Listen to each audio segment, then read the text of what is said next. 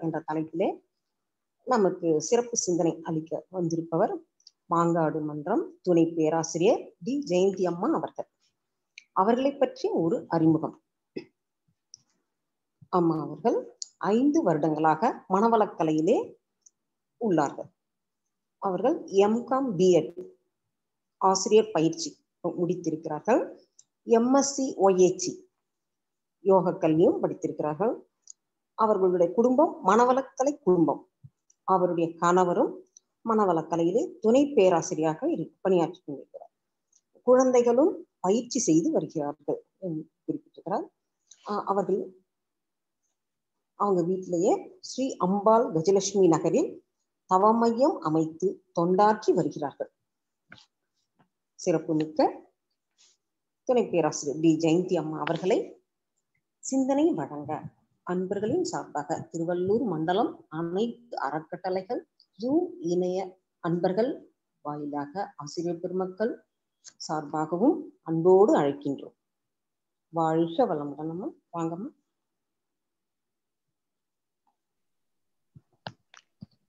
வாழ்க வளமுடன் அம்மா. வாழ்க வளமுடன். வாழ்க வளமுடன். ஐயா ஸ்கிரீன் ஷேர் பண்றீங்களா? கொடுத்துருக்கீங்களா? வாழ்க வையகம் வாழ்க வையகம் வாழ்க வளமுடன். குரு வாழ்க குருவே துணை. இந்த நல்லதொரு வாய்ப்பை அளித்த திருவள்ளூர் மண்டல தலைவர் பேராசிரியர் கிருஷ்ணமூர்த்தி ஐயா அவர்களுக்கும் ஒருங்கிணைப்பாளர் திரு ரா பேராசிரியர் ராதா பிரகாஷ் ஐயா அவர்களுக்கும் இதை நல்ல முறையில் பதிவிறக்கம் செய்திருக்கும் பேராசிரியர் ஜம்புலிங்கையா அவர்களுக்கும் என் முதற்க நன்றியும் வாழ்க வளமுடன் என்ற வாழ்த்துக்களையும் தெரிவித்துக் கொள்கிறேன். மற்றும் ஏனைய அனைத்து மெய்யன்பர்களுக்கும் நன்றிகளையும் வாழ்க வளமுடன் வாழ்த்துக்களையும் தெரிவித்துக் கொள்கிறேன். வாழ்க வளமுடன். என்னை யான் அறிய வேண்டி இறைவா என் குருவாய் வந்தாய். சென்னியில் சிந்தை வைத்து சீர்தவம் முறையாய் செய்தே. உன்னையே என்னுள் காட்டி உள் நிறைந்து அறிவாய் நின்றாய். முன்னை சேர் வினை தூய்மைக்கே முயன்று அறநெறி வாழ்கின்றேன். வாழ்க வளமுடன். இன்று நாம் சிந்திக்க இருக்கும் தலைப்பு மனிதனின் உயர்வுக்கு உதவும் பண்புகள். அந்த பண்புகளை பத்தி நம்ம சிந்திக்க இருக்கிறோம் மனித வாழ்க்கையில் எப்படி அடிப்படையாக இருப்பது பாத்தீங்கன்னா நல்ல பண்புகள் தான். அந்த பண்புகள் தான் அவனுக்கு உயர்வுகளை தருவது. அப்ப அந்த மனிதன் என்பவன் ஆறாவது அறிவை பெற்றவனாக இருக்கிறான் இல்லையா? அப்ப அந்த ஆறாவது அறிவை அறிவால தான் அவனுடைய செயல்களை ஒழுங்குபடுத்தி கொள்ளக்கூடிய சிந்தனை ஆற்றலும் அவனுக்கு இருக்குது. இப்போ மனிதனுக்கு இணை மனிதனே என்று கூட சொல்லலாம். அப்ப இன்றைய உலகில அந்த ஆறாவது அறிவு இருந்தும் சில சூழ்நிலைகளால அவனுக்கு அது செயற்படாமல் போகுது. அதாவது அவன் இருட்டிலிருந்து வெளியே வர வர முடியாம போகுது. அதுக்கான அதுக்குதான் நமக்கு ஆன்றோர்கள் ஞானியர்கள் மகரிஷி போன்றவர்கள்லாம் காட்டிய மெய் ஞானம் என்ற அறிவொலியை நாம பெறணும். அப்போ மனிதன் மனிதன் மனிதனாவதும் அந்த இறைநிலை பெற்று புனிதனாவதும் எப்படின்னா அவனுடைய உயர் பண்புகளை பொறுத்துதான் இருக்கு.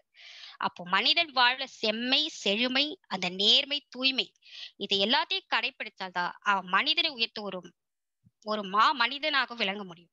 அப்ப மனிதனுடைய மனசுல என்ன குப்பைகள்லாம் ரொம்ப நிறைய கிடக்கு இல்லையா? மனிதனை அதை தூய்மைப்படுத்தி நெறிப்படுத்தி பண்படுத்தி நல்ல வளப்படுத்தி செய்யக்கூடியது ரொம்ப அவசியம். அப்ப அவன் என்ன பண்ணணும்? தன்னிலை அறிந்து இறைநிலையை உணர்ந்து அந்த தெளிவோடு ஒழுக்கம் கடமை ஈகை அந்த அறநெறியோடு காத்து வாழும் வாழ்க்கை தான் மனிதனுடைய உயர்ந்த பண்புகள்னு சொல்லலாம். இல்லையா? அப்ப அத்தகைய பெருமை மிக்க அந்த மனிதனுடைய உயர்ந்த பண்புகளை பத்தி தான் நம்ம வேதாத்ரி மகரிஷியோட உயர்ந்த கருத்துக்களோட நம்ம ஒட்டி இப்ப சிந்திக்க இருக்கிறோம். முதலாவதாக அகிம்சை. அகிம்சை என்றத பார்க்க போறோம். அகிம்சை என்று சொன்னாலே மனிதனுக்கு வேண்டிய நற்பண்புகளுக்கு முக்கியமானதோ மேலானதான பண்பு ரொம்ப ரொம்ப முக்கியமான பண்பு அகிம்சை. அகிம்சைன்றது நம்ம சான்ஸ்கிரிட்ல சொல்லனாலும் அது ஆங்கிலத்துல என்ன சொல்லுவோம் சில எழுத்தாளர்களா கொல்லாமை காயப்படுத்தாமை வெறுப்பின்மை அப்புறம் துன்பம் செய்யாமை எதிர்த்தாக்குதல் புரியாமை ஆக்கிரமிப்பு செய்யாமை நல்லெண்ணம் அன்பு இதெல்லாம் நம்ம பல மொழி பெயர்ச்சிருக்காங்க. ஆனா மகரிஷி நமக்கு என்ன சொல்றாருன்னா பிறர் துன்பம் போக்கும் அன்பு நெறி அப்படின்னு அழகா பிறர் துன்பம் போக்கும் அன்பு நெறி. அதுவும் எதனாலங்க?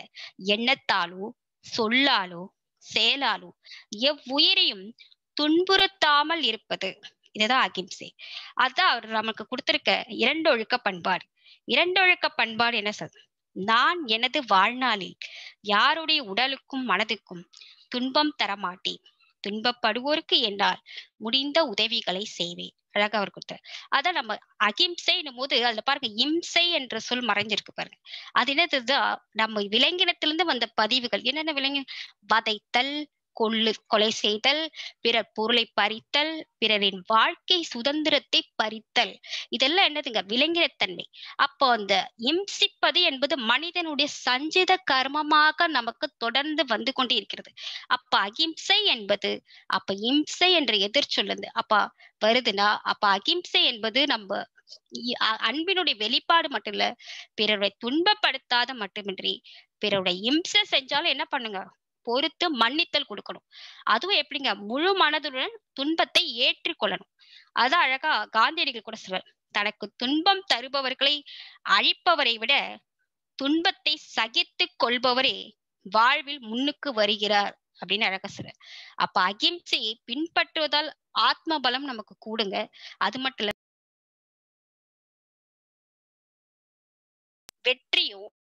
எல்லாமே நமக்கு கிடைக்குது. அதே புத்தர் கூட சொல்வாரு அகிம்சை.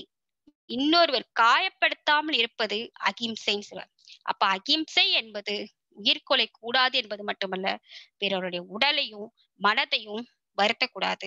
அத ஜீவகாரணியம். அப்ப இறக்கத்தை அடிப்படையாக கொள்ளும். இப்ப இறைநிலையில தன்மை எல்லாமே மனிதனுடைய ஆறாவது அறிவாக எல்லாமே இருக்குது. இல்லையா? அவன் உணர்ந்தனும் உண உணர்ந்தாதான் நம்மளால மனிதன் இன்னொரு மனிதனை ஒரு கொள்வதோ இன்னொரு உயிரை கொள்வதோ இருக்கவே முடியாது இல்லையா? அப்போ ஒரு துன்பப்படும் போது ஒரு இன்னொரு உயிர் துன்பம் கொடுப்பதோ மனிதனுக்கு வருத்தம் மனதுக்கு ஒரு வருத்தம் கொடுப்பதோ முடியுமா? கண்டிப்பா முடியாது.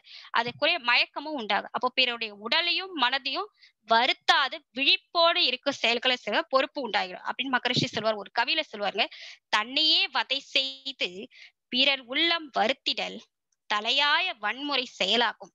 அதை சில பேர் முன்னாளில் அகிம்சை என மொழிந்திடினும் அறியாதோர். முறை தவறி பின்பற்ற என்னாகும்? அது வேண்டாம் அப்படின்னு சொல்லிட்டு மாக்கோலமே மதிவதில சொல்வார். அதே திருக்குறள்ல பாத்தீங்கன்னா தவம் செய்வார் தன் கர்மம் செய்வார் மற்றல்லார் அவம் செய்வார் ஆசைக்குட்பட்டு.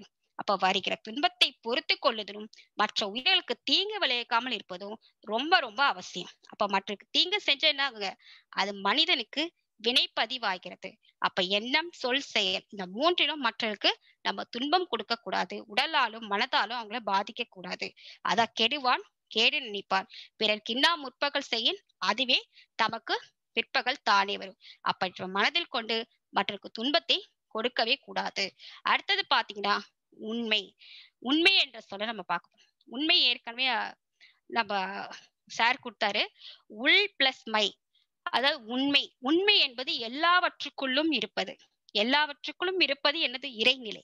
அப்ப அந்த உண்மைக்கு கூட இன்னொரு பெயர் சொல்லுவாங்க வாய்மை. அப்ப வாய்மை என்பது பொய் சொல்லாமை உண்மை பேசுதல்.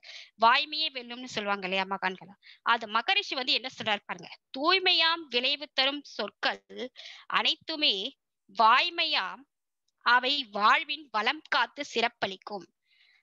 அதே வந்து உள்ளொன்று வைத்து புறம் ஒன்று பேசினால் உள்ளொளி தீயாகி உடலை கெடுத்துவிடும். அப்போ உண்மைக்கு மாறாக பேசினா என்ன ஆகுங்க உடலுக்கும் மனதுக்கும் ஒரு பொருந்தா தன்மை ஏற்பட்டு நமக்கு என்ன ஆகுங்க? உடல்ல நோய் அந்த பதிவுகள்லாம் ஏற்பட்டு நம்ம நோயாக மாறுது. அதே கூட வள்ளுவர் நமக்கு சொல்வாருங்க வள்ளுவர் வந்து வாய்மை எனப்படுவது யாதெனில் யாதொன்றும் தீமை இல்லாத சொல் இப்ப தீமை அளிக்காத விதத்தில் சொல்வதே வாய்மை. அதே உண்மை இன்மை என்னும் போது அதிகமாக நம்மளுடைய ஜீவ பிரச்சனைகள்லாம் முடிவுக்கு வராது. உறவுகள்லாம் நமக்கு எடுத்து கெடுக்கிற விலகுல இருக்கும் அது உண்மையினால. உண்மை அப்ப மன அழுத்தம் உண்டாகுது. ரொம்ப ஸ்ட்ரெஸ் நன்மை தனி நம்ம நம்மள கூட என்ன ஆகுதுங்க? தனிமைப்படுத்தி விடுது தூக்கம் எல்லாம் கெட்டு போகுது ஏன்னா ஒரு உண்மையை சொன்னாதான் நம்ம உண்மையின்மை அது எப்பவுமே பொய் சொல்லிக்கிட்டு தான் என்ன ஆகுது கெட்டு போகுது தாழ்வு மனப்பான்மை உண்டாகுது. அதெல்லாம் இதெல்லாம் ஏற்படாம இருக்கிறது நம்ம எப்பவுமே உண்மையோட இருக்கணும். அப்ப உண்மையை பேசுதல் அப்படின்னு பார்க்கும்போது பிறருக்கு பாதிப்பு உண்டாகும் என்றால் அந்த இடத்துல நம்ம என்ன பண்ணுங்க? அந்த பாதிப்பு உண்டாகும் என்றால் அந்த இடத்துல மட்டும் நம்ம உண்மையை பேசாமல் இருப்பது நல்லது. எந்த சூழ்நிலையில் எந்த உண்மையை பேசினால் நமக்கு நன்மை ஏற்படுமோ அந்த சூழ்நிலையை நம்ம கண்டிப்பா உண்மையை எடுத்து கூறணும். அதெல்லாம் ஒரு ஒரு எக்ஸாம்பிளோட பார்க்கலாம். என் உண்மையை எப்படி பேசணும் அதுக்கப்புறம் பார்த்தா உண்மையை மறைத்தல். உண்மையை மறைத்தல் பார்த்தா உண்மையை விட்டு பொய் பேசுறது. உடனடியாக லாபம் கிடைக்கிற மாதிரி தான் இருக்கும். ஆனா சில சமயம் அதெல்லாம் பார்த்தா பொய்யான தோற்றம். அந்த இடத்துல இருக்கக்கூடிய ஒரு இன்பமான ஒரு தோற்றமா இருக்கும். அப்போ பொய்யினால் வரும் விளைவுகள் என்ன நஷ்டம் பாதிப்பு எல்லாத்தையும் ஏற்படுத்தும். ஆகவே அது அதை வந்து லாபம்னு கருதுவது எல்லாம் என்னது அறியாமைன்னு தான் சொல்லலாம். சோ அடுத்தது பாத்தீங்கன்னா நம்ம இடத்துல வரும் வார்த்தைகள்லாம் எப்படி இருக்கணும்னா உண்மையாக இருக்கணும். நமக்கும் பிறருக்கும் நன்மைகளை தருவதாக இருக்கணும். நன்மை தருவதாக இருந்தா கூட அதுவும் எப்படி இருக்கணும்? வேர்ட்ஸ்லாம் மென்மையாக கூற வேண்டும். மற்றவருடைய மனசை புண்படுத்தாத விதத்துல இருக்கணும். அளவாக பேசணும். இதுல வாழ்வுல வரக்கூடிய நமக்கு வெற்றியும் மகிழ்ச்சியும் நமக்கு உறுதியை அளிக்கக்கூடியதாக இருக்கும். அடுத்தது பாத்தீங்கன்னா நேர்மை. நேர்மைக்கு நம்ம ஒரு நல்ல எக்ஸாம்பிள் பாத்தீங்கன்னா என்னென்ன சொல்லலாம் நம்ம செய்யக்கூடிய கடமைகளை நல்லா உணர்ந்து அந்த சுயநல நோக்க தவிர்த்து பொதுநல நோக்கோட நம்ம செய்வதாங்க நேர்மைன்னு சொல்லுவாங்க. இன்னும் கேட்டா எந்த சூழ்நிலையிலும் பிறருடைய பொருளையோ வாழ்க்கையை சொந்தே பறிக்காமல் வாழ்க்கைன்னு தான் நேர்மை. எந்த பொருளையும் சரி எல்லாரும் நம்ம நேர்மையா தான் வாழணும்னு நினைக்கிறோம். ஆனா என்ன ஆகுதுங்க? சமுதாய சூழ்நிலை என்ன ஆகுதுங்க நேர்மை தவறி வாழ விடுறதே இல்லை இல்லையா? அத ஒரு ஒரு சமயத்துல மகரிஷி கூட சொல்வாரு. மகரிஷி அவருடைய வாழ்க்கை இதுல நேர்மையோட வாழணும்னு அவர் ரொம்ப உறுதியா இருந்தாருங்க. அவர் தன் வேலையில என்ன ராஜினாமா செய்யறதுக்கு காரணம் நினைக்கிறீங்க? அவர் என்ன பண்ணாருன்னா அவரை அவர் வந்து இது ஆஹ் எந்த வேலையில செய்யும் போது அவரு முக்கியத்துவம் என்ன கொடுத்தா தபால் நிலையத்துல வேலை பார்க்கும் போது அந்த அதிகாரி என்னங்க செஞ்சாரு? அந்த அலுவலக பணியாளர்கிட்ட அந்த தாளை அந்த இதெல்லாம் சில பணத்தெல்லாம் இது பண்ணி உருவி கையாடல் செய்யணும்னு ஒரு கட்டளை இட்டார் அப்ப அது வேதாத்திரிக்கு அதுக்கு உடன்பாடே இல்லை இல்லையா மகரிஷிக்கு. சோ அதனால என்ன ஆனானா அது ராஜினாமா செஞ்சுட்டு அந்த அந்த வேலையே வேண்டான்னு விட்டுட்டு வந்துட்டார். சோ அப்போ அந்த அந்த இடத்துல அவர் என்ன சொல்ல வரானா அதிகார சட்டங்கள் அறிவாளிகளால் வகுக்கப்படுகின்றன. அவற்றை முட்டாள்கள் அமுல் நடத்தும் போது அந்த ஆளுகைக்கு உட்பட்டவர்கள் நேர்மையுடன் செயலாற்ற முடிவதில்லை. பாருங்க அப்ப நேர்மையின்றி செயல் உட்பட முட்டாள்களால் தூண்டப்படுகிறார்கள்.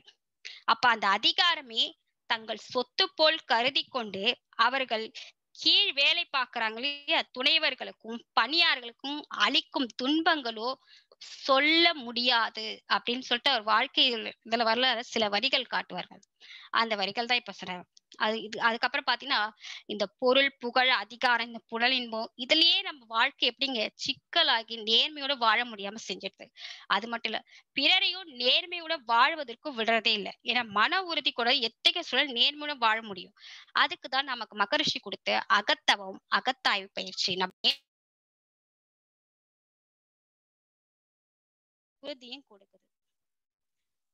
மன உறுதி நமக்கு நல்ல ஒரு இது. அதை எண்ணுவது ஒன்று பேசுவது ஒன்று செயல்புரிதல் அது மாதிரி முரண்பாடு இல்லாம அந்த உடலுக்கும் உயிருக்கும் நல்ல ஒரு முன்னேற்றத்தை கொடுக்கும்படியா இருக்கணும். அப்ப மன மனிதனால பிறருடைய நட்புறவை ஏற்படுத்தி கொள்ளவும் முடியும்.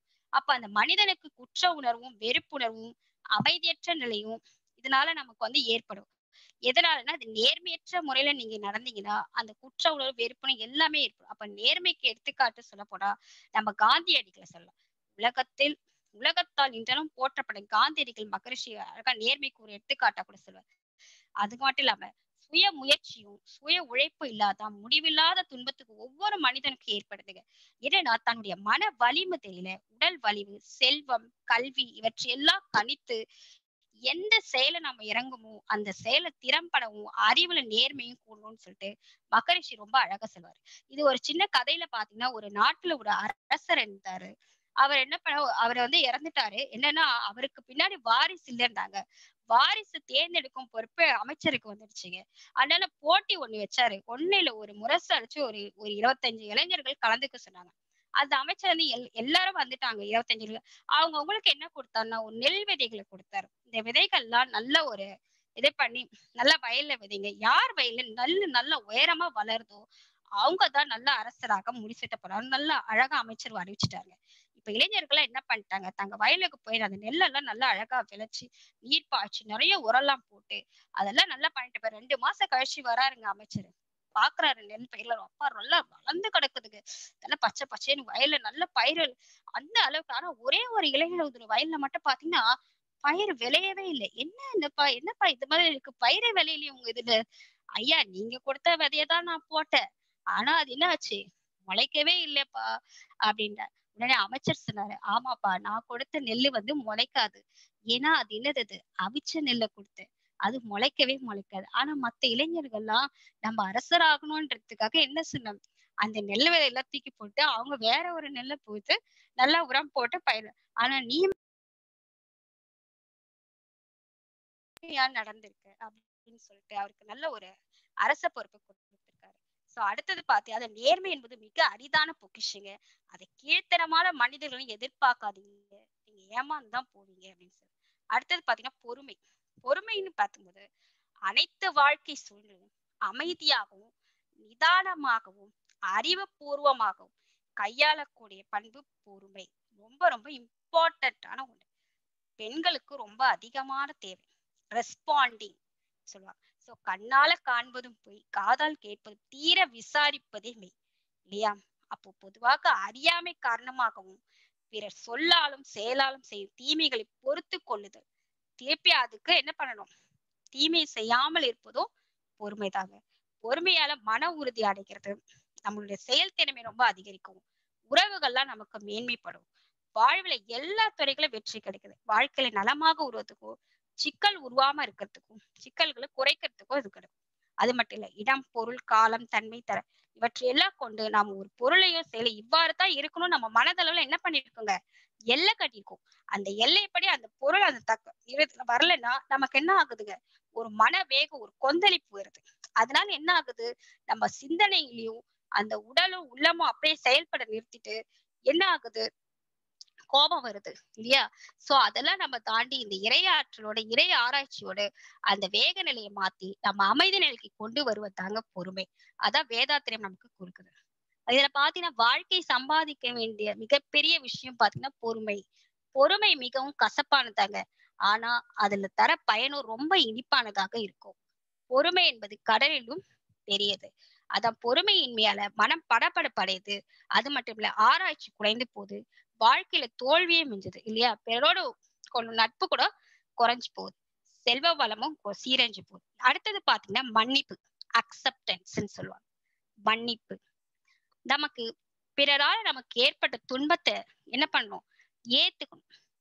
அதுதான் பாவிகள் நம்ம உருவாகுதலைன்னு சொல்லுவாங்க இல்லையா? நம்ம நமக்கு துன்பத்தை கொடுக்குறவங்களும் அவங்களுக்கு நீங்க மன்னிச்சு ஏத்துக்கணும். பாவிகள் பிறரிடம் மன்னிப்பு நம்ம கேட்கும் போது நம்ம செயல்கள் வந்து பாவமாக மாறாது. நீங்க மன்னிப்பு கேக்குறீங்கன்னா உங்க செயல் வந்து பதிவு கழிஞ்சிருது உங்கள் செயல்கள் பாவமாக மாறாதுன்னு சொல்லுவாங்க.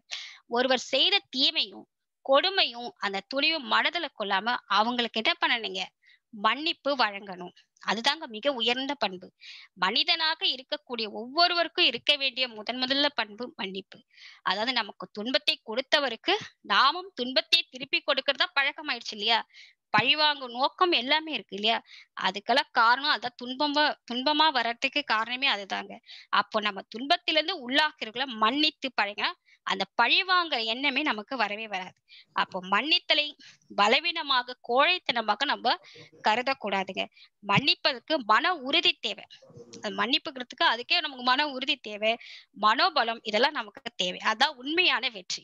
மன்னிப்பு கேட்பது ஒரு இழிவான செயல் எல்லாரும் நினைக்கிறாங்க. அது கிடையவே கிடையாதுங்க. மன்னிப்பு எப்படி உயர்ந்ததோ அதை விட உயர்ந்தது மன்னிப்பு கேட்பது. மன்னிப்பு கேட்பது தாங்க ரொம்ப ரொம்ப உயர்ந்ததுன்னு சொல்லுவாங்க. இப்ப மன்னிப்பு கேட்பது மூலமாக நமக்குள்ள ஒரு அன்பு மலரும். அச்சமே இருக்காது. ஒரு தூய்மையை பெருகும்னு சொல்வாரு மகாவீரர் குலம் அத தண்டனை கொடுப்பது தாமதம் செய். ஆனால் மன்னிப்பு கொடுப்பதற்கு கொஞ்சம் கூட யோசிக்க செய்யாது. ஏன்னா அடுத்த நிமிஷமே நம்ம மனசு மாறிடும். அதனால எல்லாருக்கும் மனதார மன்னிப்பு கொடுங்க. மன்னிப்பு என்பது ரொம்ப ரொம்ப முக்கியம். மன்னித்தல் என்பது தண்டித்தலை விட சிறந்தது. எனவே தண்டித்தல் இருக்கிறது மிருகத்தனம். மன்னித்தல் என்பது மனித குணமாக இருக்கும். தூய்மை அதான் தவத்துல கூட மகரிஷி நமக்கு அழகா சொல்வாருங்க. இன்னல் புரிவோர் எதிரிகளாக நினைப்போர். எவரேனும் இருந்தால் அவருக்கும் மனம் திருந்தி அவர்களும் மனம் திருந்தி நல்வாழ்வு பெற கருணையோடு வாழ்த்துவோம். எப்படிங்க சொல்லுவாரு? கருணையோடு வாழ்த்துங்கன்னு அது மகரிஷி அத நமக்கு பிராயச்சித்தம் ஜீவகாந்த களத்துல ஏற்பட்டக்கூடிய ஒரு அதிர்வு குழப்பத்தை எல்லாத்தையும் சமன் செய்யக்கூடிய முயற்சி. என்னன்னா தாவரத்தை கூட பாருங்க ஒரு இலையை வெட்டிங்கன்னா ஒரு அதிர்வு ஏற்படும். அந்த வேரின் மூலமாக அது சமன் செய்துக்குது இல்லையா? சோ அதே போலதான் நம்ம தீமையை நீக்க நற்காரியங்களை நம்ம ஈடுபட ஈடுபடணும் அது மட்டும் செய்த தவறை உணர்ந்து நம்ம வருந்தி நம்மளால திருந்திக்கணும். தவற்றால துன்புறுவோருக்கு நமக்கு ஆறுதல் கூறுறது இழப்பீடு செய்ய மன்னிப்பு கேட்டு உடனடியாக அவங்களுடைய துன்பத்தை நீக்கிறது. இதெல்லாம் பாத்தீங்கன்னா மன்னிப்பு. மன்னிப்புக்கு இன்னொரு ஒரு கதை கூட சொல்லாங்க என்னன்னா அதாவது ஜெர்மனி நாடு அந்த பிளவுபட்டிருக்கும் போது பெர்லின் நகரத்து கிழக்கு மேற்காக ஒரு மதில் சுவர் அமைச்சிருந்தாங்க. அதுல என்ன பண்ணாங்க? ஒரு நாள் கிழக்கு பெர்லின் சேர்ந்த சிலர் என்ன பண்ணாங்க? ஒரு லாரி நிறைய குப்பை குளம் கொண்டு வந்து அந்த மதில் சுவர் மேற்கு பெர்லின் இருக்கிற பக்கம் அப்படியே கொட்டிட்டாங்க. அவ்வளவு குரோதங்க. அப்போ மேற்கு பெர்லின் ஆனா அவங்க அப்படி செய்யலைங்க. மாறாக என்ன பண்ணாங்கன்னா ஒரு லாரி நிறைய உணவு பொருட்கள் என்னென்னா பாருங்க ரொட்டி பால் மளிகை சாமான் எல்லாத்தையும் கொண்டு வந்து அந்த மதில் மேல அந்த சோத்து மேல அழகா அடுக்கி வச்சுட்டாங்க. அழகா பாருங்க அந்த அடுக்கி வச்சுட்டு ஒரு வாசகம் ஒண்ணு எழுதி வச்சுட்டு போனாங்க. என்ன வாசகம் கேட்டீங்கன்னா ஒவ்வொருவரும் தன்னிடம் என்ன இருக்கிறதோ அதையே கொடுப்பார்கள். அழகா. Each gives what he has each gives what he has அப்ப எவ்வளவு பெரிய வாசகம் பாருங்க எவ்வளவு நிசத்தமான உண்மை. அப்போ உன்னிடம் உங்களிடம் என்ன இருக்கிறதோ அதை தானே உங்களால கொடுக்க முடியும். அப்ப நம்ம என்ன இருக்குங்க? அன்பை விதைப்போம். அன்பை அறுவடை செய்வோம். ஏன் அன்பையை கொடுப்போங்க? அதாங்க மன்னிப்பு. அக்செப்டன்ஸ் அடுத்தது பாத்தீங்கன்னா பணிவு. பணிவு என்பது ரொம்ப மிகப்பெரிய பண்புங்க. அது யார்கிட்ட வரும்னா உலக வாழ்வுல பணிவோட வாழ்பவர் யாவரும் தாழ்ந்ததே கிடையாது. அவர்களை பணிவாலதான் அவர்களுடைய தரமும் எல்லாமே உயரும். இந்த நாணலுடைய வளைவு அந்த மூங்கிலுடைய வளைவுலாம் உயர்ந்ததுக்கு காரணமே அதோடைய பணிவு தாங்க காரணம். அதே திருக்குறள் அழகா சொல்றார். பணியுமாம் என்றும் பெருமை சிறுமை அணியுமாம் தக்க வியர்ந்து அப்படின்னு அழகா குரல சார் பணிவு என்றும் பெருமையை தரும். சிறுமை என்பது தன்னைத்தானே வியந்து கொள்ளணும் பணிவுல தாங்க பெருமை பற்றி வள்ளுவர் அழகா சொல்வார். எல்லா இடத்துலயும் பணிவு கொள்வது ரொம்ப சிறந்தது. அது மட்டும் இல்ல பணிவு இசைவாக அதை எ- எல்லோரோட இணக்கமா இருக்கணும். பணிவுடையதற்கு தான் குருவர்களும் திருவர்களும் கிடைக்கணும். அந்த சீடருடைய பணிவை கண்டுதான் குரு என்ன பண்றாருங்க? சீடரை ஒரு புடம் போட்டு பண்புகளை நல்லா உயர்த்துறார். அப்போ சீடருடைய அறியாமை என்னும் இருளை போக்கி ஆன்ம ஒளி ஏற்ற செய்கிறார். அப்ப இறை உணர்வு பெறவும் உதவி செய்கிறார். அப்ப எந்த பதவி இருந்தாலும் மக்களுக்கு பணியாற்றுவதற்கு தவிர அது ஏற்பட்டிருக்கிறத தவிர அதிகாரம் புரிவதற்காக இல்ல. அதிலும் அந்த அருள் துறையில நம்ம பதவியில இருக்கோம் பாருங்க. ஒரு படி மேலே போய் எல்லாருக்கும் பணிவதற்காகத்தான் என்பது உணர்ந்து கொண்டு அதிகார உணர்வின்றி நம்ம எல்லாருமே என்ன பண்ணுங்க? தொண்டு மனப்பான்மையோடு தொண்டுக்காகவே நமக்கு வைக்கப்பட்டிருக்கோம் என்பதை நம்ம உணரணுங்க. அது மட்டும் இல்ல ஆன்ம ஒளி பெற வேண்டும் என்ற நோக்கத்தோடு தான் நம்ம குருவை அடைகிறோம். அப்ப அந்த பணிவும் நன்றி அறிதலும் கண்டிப்பா குருவுக்கு அருள்கிட்டும். அதான் அழகா ஒரு மகரிஷி ஒரு பாட்டுல சொல்வாரு மற்றவரை பணிந்து வர வேண்டுமென்ற மனநிலையில் தருக்கொற்று செயல் புரிந்து பெற்ற பலன் குடும்பத்தில் சமுதாயத்தில் பெருந்துன்பம் பகை ஒருவர் தனக்கு ஏற்ப அற்ற ஒரு சூழ்நிலையில் பணிந்த போதும் அது வஞ்ச மனநிலையாய் வளர்ச்சி பெற்று உற்ற ஒரு காலத்தில் பெரிய தீயாய் ஓங்கி நிலை குலைந்திடும் உண்மை காண்போம். இப்போ மற்றவர் தான் பணிந்து வரும் வேணும்னு இருக்கக்கூடாதுங்க நம்ம முதல்ல போய் பணிஞ்சு அந்த குடும்பத்துல ஒரு சமுதாயத்துல ஒரு நல்ல இணக்கத்தை ஏற்படுத்தணும். பகை இல்லாம நம்ம செய்யணும். வஞ்சமில்லாத மனநிலையை நம்ம வளர்ச்சி பெற்று உரிய காலத்துல அந்த தீமையை கூட என்ன பாட்டணும்? நன்மையாக மாத்தக்கூடிய உண்மையை காண்போம் என்று அழகாக மகர்ஷி வருதல் கொடுத்தார். அடுத்தது பாத்தீங்கன்னா கர்வமின்மை. கர்வமின்மை சொல்லும்போது ஈகோ. கர்வமின்மை ஈகோ அதாவது தான் தன்னிடத்துல உள்ள தகுதியோ குணங்களையோ பிறர் அறிஞ்சு தன்னை தான் மதிக்கணும் பாராட்டணும் ஒரு எதிர்பார்ப்பு எப்போதுமே எல்லாருக்குமே இருக்குங்க. அது ஒரு தீமையான குணங்க. அதுதான் ஒரு தீய குணத்தை அது வந்து ஒரு எதிர்பார்ப்பு எப்பவுமே ஏமாற்றத்தை கொடுக்கும்வாரு இல்லையா மகரிஷி? சோ அந்த கர்வம் தாங்க அந்த தீய குணத்தை ஏற்படுத்துது. அந்த மனிதனுக்கு பாருங்க தான் என்ற எண்ணமும் நான் என்ற ஒரு அகங்காரமும் எப்போதுமே இருக்கும்னு மகரிஷி. அந்த மனித வாழ்க்கை உலகில இந்த இரண்டிலும் தான் அந்த தன்முனைப்பு அதுக்கான பயிற்சி தான் நமக்கு அகத்தாய்வு பயிற்சி கொடுத்திருக்காரு. உயர் அந்த உயிர் உயிர் எப்ப தோன்றியதோ அப்பவே என்ன ஆகுதுங்க? ஆணவம் தோன்றியது என்பார். மெய்ப்பொருளே உயிரான முனைப்பு ஆணவம் அப்படின்னு சொல்வார் மகரிஷி. மெய்ப்பொருளே உயிரான முனைப்பு ஆணவம். அப்ப அவரவருக்கு அவரே தான் உயர்ந்ததோர் என்று என்னும் ஆணவமும் அறிவினது திருக்கூத்தில் ஒன்றே. அப்ப இந்த ஆணவம் எப்படி இருக்குங்க? செம்பிற்களிம்பு போல அந்த உயிரோடு அப்படியே இணைஞ்சு இருக்குதுங்க. அந்த செம்பில் அந்த களிம்பு பூசுவாங்களே அது மாதிரி நம்ம உயிரோடவே இணைஞ்சு இருக்கு அந்த ஆணவம் என்ற ஈகோ அப்ப ஆணவம் என்ற கருவம் எப்படி வந்ததுங்க? எல்லா வல்ல பரம்பொருள் தானே எல்லாமே படிச்சிருக்காரு. அது தானே தானே மனிதனாக்க வந்துள்ளது. அப்ப அது உருவ நிலையில தானே அழுத்தம் ஒலி ஒளி சுவை மனம் எல்லாத்தையும் கொண்டு வந்து நம்ம உடல் வரையில அப்புறம் நான் என்று எல்லை காட்டி நிற்கும் போது என்ன வந்துருதுங்க? தன்முனைப்பு. அங்கதாங்க ஈகோ மலருது. அப்ப அந்த ஆணவம் கர்மம் அந்த இருமாப்பு கர்வம் எல்லாமே தற்பெருமை எல்லாமே கூறும். அப்போ ஆணவம் போது ஒரு மறைப்பு சக்தி இருக்கு. அதாங்க ஆன்ம அறிவு முழுவதையும் அப்படியே மறைத்து கொண்டு அந்த ஆன்மா உண்மை நிலையை காண விடாமல் தடுத்து நிற்பது. அந்த ஆணவத்தால தன்னை உணரா நிலையும் உண்டாகுது. அப்ப ஆணவம் என்பது அந்த இருளிலும் ரொம்ப கொடியதுங்க. என்னன்னா இருள் எப்படி தன்னை இருள் என காட்டும். ஆனா ஆணவம் பாத்தீங்கன்னா தன்னையும் காட்டாது பிற பொருளையும் காட்டாது. அத காட்டாது அதான் இதே திருவருட்பயன்ல ஒரு பாட்டு சொல்ல ஒரு பொருளும் காட்டா திருள் உருவம் காட்டும் இரு பொருளும் காட்டாது இது அப்படின்னு சொல்லுவார் அப்ப தன் முனைப்பில் இருந்தேதான் தான் அந்த அக்ரஷன் அதிகாரப்பற்று தனது என்ற பொசசிவ்னஸ் பொருட்பற்று எல்லாமே உண்டாகுதுங்க. அப்ப கர்வம் என்ற தீய குணம் மனதை புண்படுத்துவதற்காகவே தான் இருக்கும். அதை எதிர்பார்ப்பு எப்போதுமே நமக்கு ஏமாற்றத்தை தான் கொடுக்கும். அப்ப ஏமாற்றத்தை தவிர்த்து எல்லா செயல்களிலும் நல்ல குணங்களை நம்ம உயர்த்தி ஏற்படுத்தி கொள்ள வேண்டும் அப்படின்னு சொல்லுவோம் அத தன்முனைப்புல அழகா ஒரு பாட்டு கூட சொல்வார். தன்முனைப்பு என்னும் செருக்கு மனித ஆற்றலை தரங்குறைத்து அழுக்காறு பேராசை மேலும் தன்முனைப்பு பிறருடைய பொருள் நலம் பறிக்கும். தவறான பழிச்செயல்கள் ஐந்தையும் பெருக்கும். அப்ப தன்முனைப்பு சிந்தனையை உயரவிடா வாழ்வில் தனக்குறைய உறவினர்கள் நண்பர்கள் வருந்த தன்முனைப்பே துணிந்து செயல் புரிய வைக்கும். மயக்கம் தற்சோதனை தவமும் அறமும் குறை நீக்கும். அப்போ நம்ம தற்சோதனையும் தவமும் செஞ்சா இந்த தன்முனைப்பு என்ற ஈகோவை நம்ம விரட்டிடலாம். அடுத்தது விடாமுயற்சி. விடாமுயற்சி போது நாம் அடைய வேண்டிய குறிக்கோள்களை நம்ம தெளிவா புரிஞ்சுக்கிட்டு அது கூட உறுதியோட ஊக்கத்தோட நம்ம செயல்படும் நம்ம லட்சியத்தை அடையிறோம்னா அதுக்கான அறிவு திறமை எல்லாத்தையும் நம்மளுக்கு நாள வளர்த்துக்கணும். அதுக்கு நமக்கு விடாமுயற்சி அதை கடமையாற்றினால லட்சியத்தை வெற்றி நம்ம காண முடியும். அப்போ இதற்கு விடாமுயற்சின்றது ரொம்ப முக்கியம். அதான் முயற்சி திருவனையாக்கும் என்பாங்க. அதான் முயற்சி என்பது முடிந்தவரை முயல்வதல்ல அந்த செயலை முடிக்கும் வரை முயல்வதுன்னு சொல்லுவாங்க. அது மட்டும் இல்ல அறிவாளிகள்லாம் தோற்றிருப்பாங்க. ஆனா திறமை உள்ளவர்கள் தோற்றிருப்பாங்க. பணக்காரர்கள் தோற்றிருப்பாங்க. ஆனா விடாமுயற்சி உள்ளவர்கள் மட்டும்தான் எப்பவுமே வெற்றிருப்பாங்க விடாமுயற்சி எப்பவுமே வெற்றியை தரும். அதான் மகர்ஷி கூட சொல்வாரு. ஆக்கத்துறையில் ஆக்கத்துறையில் அறிவை செலுத்து ஊக்கமுடன் உழை உயர்வு நிச்சயம்னு சொல்வார்.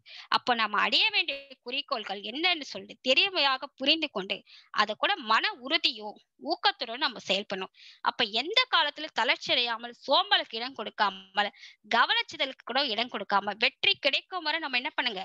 முழு ஈடுபாடுடனும் ஊக்கத்துடனும் நம்பிக்கையுடனும் நாம் எண்ணிய லட்சியத்தை அடையும் வர நம்ம என்ன பண்ணுங்க? தொடர்ந்து முயற்சி முயற்சி முயற்சி. அதான் விடாமுயற்சி விஸ்வரூப வெற்றி.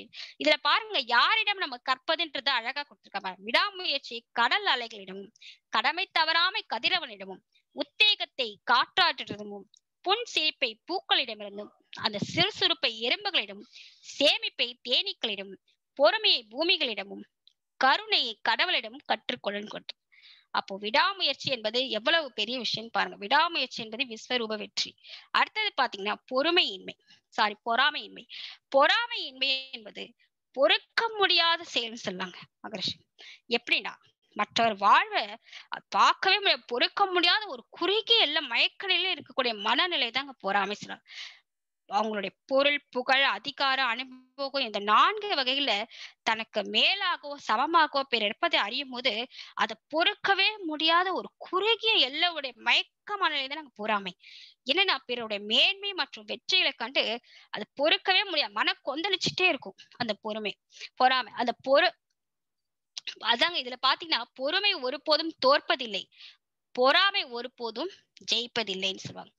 காரணம் என்னன்னா பிறருடன் தன்னை ஒப்பிட்டு பார்த்துக்கிட்டே இருக்கிறது. தன்னிடம் இல்லாத சிறப்பு பிறரிடம் இருக்குதுன்னு நினைச்சிட்டு அதுல மனதுல அவங்களாவே ஏற்படுத்திக்கிறது அங்க வருத்தம் சலனம் எல்லாமே அதான் பொறாமை ஏற்பட காரணம். இதை தவிர்க்கணுங்க. என்னன்னா இதுவும் ஒரு தீய குணம் இல்லையா? அது என்ன செய்யணும்னா நம்ம இந்த குணம் நிலை நிலையானதே கிடையாது. ஒரு அர்த்தமற்றது அப்படின்னு நமக்குள்ளே செலுக்கணும் ஏன்னா இது வந்து நம்ம கருமையத்தை களங்கமாக்கக்கூடிய செயல். என்ன பண்ணும் நம்ம அலை தத்துவத்தை கொடுத்திருக்காரு இல்லையா? மகரிஷி வாழ்த்தின் மூலமாக. வாழ்த்தில் இரட்டிப்பு நன்மை நமக்கு அடையுதுங்க. அவங்களும் நல்லா இருப்பாங்க. நம்மளும் நல்லா இருக்க முடியும். சோ அந்த மாதிரி நம்ம வாழ்த்தலைகள் அவங்க வாழ்க்கை வந்து துன்பத்திற்கு நம்ம எண்ணமும் தாங்க பொறுப்பாகுது. அவங்களுக்கும் நம்ம துன்பத்தை கொடுக்குறோம். நமக்கும் அது ஜீவகாந்த கழகத்துல ஒரு துன்பத்தை கொடுக்குது. அப்ப அந்த பாவத்திற்கு நாம் துன்பத்தை அனுபவிக்கிறோம் நம்ம தான் வளர்த்துக்கிறோம். அப்ப என்ன பண்ணுங்க? பாசிட்டிவ் தாட்ஸ் நேர்மறையான எண்ணங்களை நம்ம வளர்த்துக்கணுங்க. மற்றவர்களின் உயர்வை கண்டு அவர்களின் மகிழ்ச்சியை கண்டு நானும் மகிழ்ச்சி அடைகிறேன் என்று பாசிட்டிவ் தாட்ஸை போட்டுக்குங்க. வளர்த்து கொள்வதன் மூலமாக நம்ம மகிழ்ச்சியாக வாழலாம். அதுதாங்க சினம் தவிர்த்தல் பயிற்சினால பொறாமை ஒழியும். பொறுமை உண்டாகும் நமக்கு. அப்போ பொறாமையின்மை ஒரே வழி என்னன்னா பிரம்மஞானம் பேச்சுதாங்க பிரம்மஞானம் தான் நமக்கு கொடுத்துருக்கா. என்னது? நம்ம சுத்த வெளியில இருந்தா வந்திருக்கோம். இல்ல எல்லாமே இறைநிலையாக நம்ம நினைக்கும் போது எல்லாம் அவராவே இருக்கும் போது எல்லாமே பிரம்மம் இல்லையா? அப்ப நமக்கே பொறாமை இருப்ப போகுது இல்லையா? சோ பொறாமை என்பது ஒரு மனிதனுடைய நலவாழ்வை மகிழ்ச்சியை ஒரு செல்லரித்த காகிதம் போல வாழ்வி சீரழிக்கும் என்பார் மகர்ஷி. எப்படின்னு பாருங்க. அது அழகா ஒரு பாட்டுல சொல்வாரு. நல்ல உள்ளம் பண்பட்ட குடும்ப மேன்மை நாடறிந்த புகழ் வாழ்க்கை அமைந்துள்ளோர்க்கும் மெல்ல ஒரு நபர் மீது பொறாமை வந்தால் மிகுந்து அது உள்ளத்தை நச்சாக்கி செல்லரித்த புத்தகம் போல் சீர்மை கெட்டு செயல்திறனை சிறக்க விடாதுண்மை கண்டோம். வல்ல மனவளக்கலையை பயில்கின்றவரே வாழ்த்துகின்றேன். வாழ்வீரே பொறாமை விட்டு எவ்வளவு அழகா தெளிவா கொடுத்துருக்காரு அப்போ நம்ம என்ன பண்ணுங்க? மனவளக்கலை பயின்றவரை யாருக்கோ பொறாமை இருக்க கூடாது அப்போ பொறாமை உடையவன் எதிலும் திருப்தியே அடையவே மாட்டான். எனவே நல்வாழ்வை விரும்பும் எவரும் என்ன பண்ணணுங்க? தன்னிடம் உள்ள பொறாமை ஏற்படுத்தி கொள்ளாம நம்ம ஒரு விழிப்பு நிலையில இருக்கணும். அடுத்தது பாத்தீங்கன்னா புரிதல். புரிதல் என்பது வாழ்க்கையில சிக்கல்கள் ரொம்ப ஏராளமா இருக்கும். அப்ப இந்த சிக்கல்களை நம்ம எண்ணி கவலைப்பட்டுக்கிட்டே இருந்தோம்னா அது எப்பங்க தீரது? சிக்கல் இருந்துகிட்டே தான் இருக்கும் இல்லையா? சிக்கலை புரிந்து கொள்வதும் அந்த சிக்கலுக்கான காரணங்களை புரிந்து கொள்ளும் சிக்கலை தீர்ப்பதற்கான வழிகளையும் புரிந்து கொள்வதாங்க புரிதல் அவசியம். மகரிஷி கூட ஏற்பட்ட ஒரு சிக்கல் ஒண்ணு சொல்லுவார். பொருளாதார சிக்கலால அவருக்கு என்ன ஆச்சுன்னா சொத்துக்கள்லாம் வித்து குடிசையில வாழ நிலை ஏற்பட்டுச்சு. அப்ப குடிசையை கூட அவர் இழக்கும் நிலை வந்துச்சு. அந்த நிலையில கூட அவர் சிக்கலை புரிந்து கொண்டு அவர் வெளியேற. அப்போது கூட அவர் என்ன பண்ணார்னா அந்த இறைநிலை உத்தரவாகத்தான் இந்த இடம் வந்து தனக்கு தகாது என இறைவன் போக சொல்ல சொன்னாரு அப்படின்னு சொல்லிட்டு அந்த அம்மாவிட சொல்வார் அப்ப எதையும் புரிந்து கொள்ளல் என்பது அதான் ஆங்கிலத்துல கூட பாசிட்டிவ் திங்கிங் வேணும்னு. பகவத்கீதையில கூட அழகா சொல்வாரு நீ எதுவாக ஆக நினைக்கிறாயோ அதுவாக தான் இருப்ப. இல்லையா? அதுவாவா என்று பகவத்கீதையில ஒரு வழியில. அப்ப எது நடந்தாலும் என்ன நினைக்கணுங்க? நன்மைக்கே என பக்குவம் ஒரு எண்ணம் ஏற்படணும். அப்ப ஏற்றமும் இரக்கமும் செல்வமும் ஏழ்மையும் எல்லாமே இன்ப துன்பம் எல்லாம் மாறி மாறி வருவதாங்க வாழ்க்கை. அப்ப எல்லாம் வல்ல இறைநிலையின் தன்மைகள் எல்லாத்தையும் நம்ம புரிஞ்சு கொண்டு அதனோட உறவு கொண்டு அதன் தன்மைகளாவே நம்ம அறிஞ்சிட்டு அதோட நம்ம புரிதலோட வாழணும். அப்ப உடலாற்றல் மனவலிவு ஆகியற்ற அளவுகள்லாம் புரிஞ்சு பொருளால உடலால அந்த அறிவால செல்வாக்கால கல்வியால எங்க எப்படி எந்த நிலையில இருக்கிறோன்றத புரிஞ்சு அந்த புரிதல்ல ஒழுக்கமும் நீதியும் ரொம்ப ரொம்ப அவசியம். அப்போ வாழ வாழ பிறந்திருக்கிறோம் இல்லையா? நம்ம எல்லாமே இன்பமாகத்தான் வாழப்போம் அப்ப புரிதலோட ஒரு பொறுப்பும் கடமை ரொம்ப ரொம்ப அவசியம். அதான் ஒத்தறிவான் உயிர் வாழ்வான் என்பதை புரிந்து மனித மனங்கள் ஒன்றோடு ஒன்று கலப்பதற்கு இறைவன் நமக்கு புரிய அத புரிதல் மட்டும் இல்லை என்றால் உறவில் விரிசல் தாங்க எப்பவுமே தானாக அமைந்து விடுகிறது. புரிதல் இல்லாத வாழ்க்கை எப்படி இருக்குங்க? துடுப்பு இல்லாத படகை போல. சிறிது தூரம் மிதக்கலாம். ஆனா தொலை தூரம் கடக்கவே முடியாதுங்க. அடுத்தது பாத்தீங்கன்னா நல்லிணக்கம்.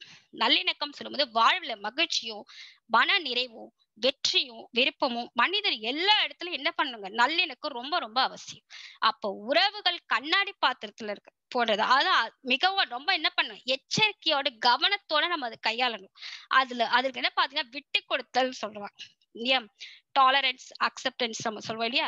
சோ அந்த விட்டு கொடுத்தல் என்பது ரொம்ப ரொம்ப அவசியம். அப்போ உடல் உயிர் மனம் இந்த மூணுத்துல என்ன இருக்கு? நல்லிணக்கம் ஏற்படுத்தணும் இல்லையா?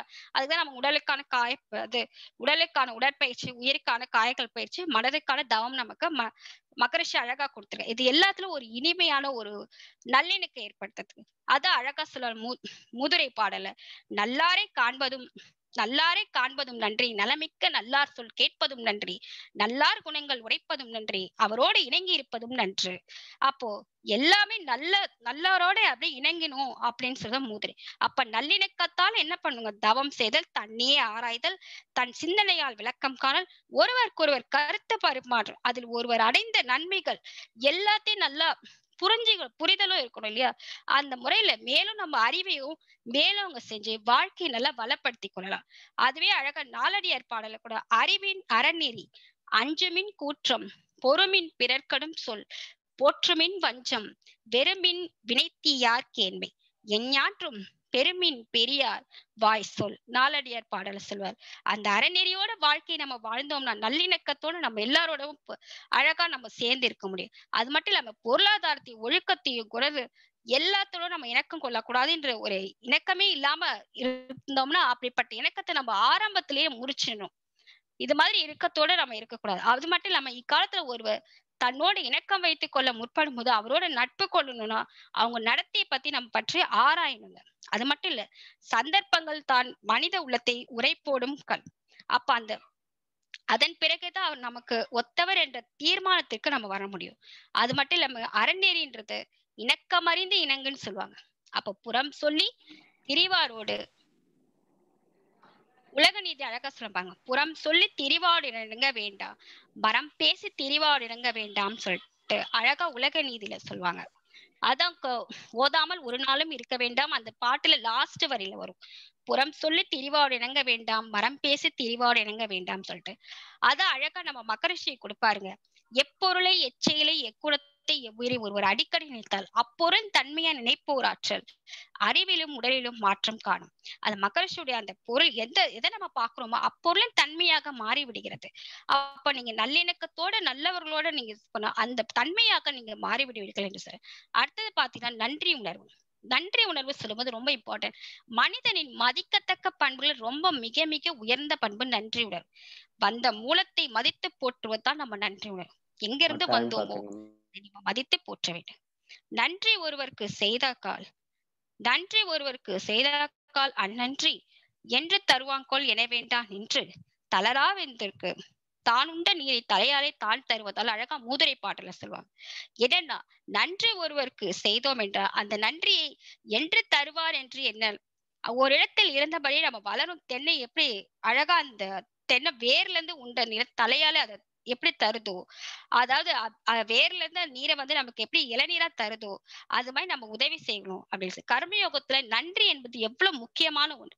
யார் எந்த உதவி செஞ்சாலும் நன்றியோட பாருங்க. செய்த நன்றி ஒரு நாளும் மறக்க வேண்டாம்.